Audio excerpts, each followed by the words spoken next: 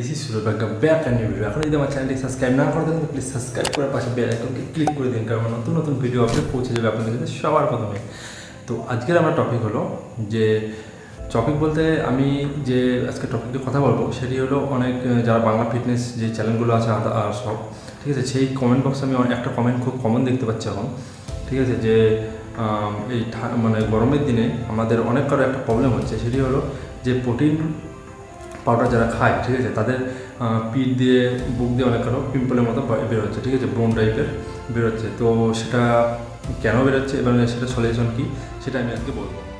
Protein powder একটা safe supplement সেটা সবার তোমরা সবাই জানো। তো তাও এরকম টাইপের প্রবলেম কেন হচ্ছে? সেটা বিষয়ে আজকে কারণটা হলো যে তোমরা তোমাদের শরীরে যতখানি তোমাদের ওয়েট সেই হিসেবে যে আমি আগের ভিডিও তোমরা দেখে নিয়েছো হয়তো, আমি সেই ভিডিও কিন্তু সেটা বিষয়ে আলোচনা করেছি। তোমাদের শরীরে যতখানি প্রোটিন রিকোয়ারমেন্ট আছে, ঠিক আছে? তোমাদের ওয়েট হিসাবে।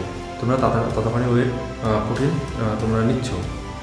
অনেকে অনেকে অবশ্য ভুল করে যে তার থেকে বেশি অনেকে প্রোটিন ইনটেক করে করে নেয়। এটার পরে কিন্তু অনেক সাইড ইফেক্ট দেখা দেয়।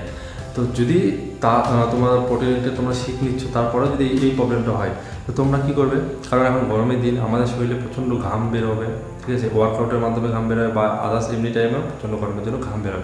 এর থেকে আমাদের শরীরে পটাশিয়াম ম্যাগনেসিয়াম কিন্তু সব বের হয়ে যাচ্ছে। এটার পরে আমাদের শরীর কিন্তু প্রচণ্ড ডিহাইড্রেটে চলে যাচ্ছে। এরপর নয়, আমরা যখন প্রোটিন ইনটেক ইনটেক করছি, তখন কিন্তু আমার শরীরে এই সমস্ত প্রবলেম দেখা দিচ্ছে। কিছু ব্রোন টাইপের কিছু শরীরে গ্যাসটাকে বের করানোর জন্য। ওই গরম আমাদের যখন প্রোটিনটা নিচ্ছে, আমাদের শরীর কিন্তু প্রচুর হিট প্রডিউস করছে।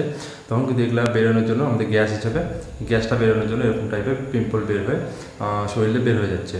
তো সেই জন্য তোমাদের ফার্স্ট অফ অল সবার প্রথম তোমাদের খেতে হবে প্রচণ্ড পরিমাণে জল। ঠিক আছে? পানি সবচেয়ে বেশি খেতে হবে। দ্বিতীয়ত তোমাদের খেতে হবে হচ্ছে কলা। এবার তৃতীয়ত তোমাদের খাওয়া খুবই দরকার, সেটা হলো নাটস যেমন বাদাম কাজু বাদাম এইসব খেতে হবে। তৃতীয়ত মোস্ট ইম্পর্টেন্ট সেটি হলো তোমাদেরকে কোকোনাট ওয়াটার মানে ডাবের জল।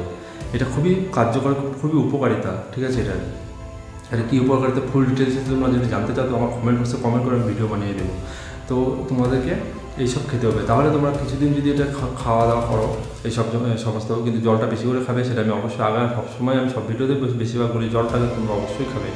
আমাদের কিন্তু শরীরে বেশিরভাগটা জলের উপরে নির্ভরশীল। তো এই এই সব তোমরা যদি খাওয়া খাও, তাহলে হয়তো এই প্রবলেমটা আর আসবে না, আশা করি আসবে না। তো যদি ভিডিওটা ভালো লেগে থাকে তো একটা লাইক করে দিও, আর চ্যানেলটিকে সাবস্ক্রাইব করে thank you take care and bye bye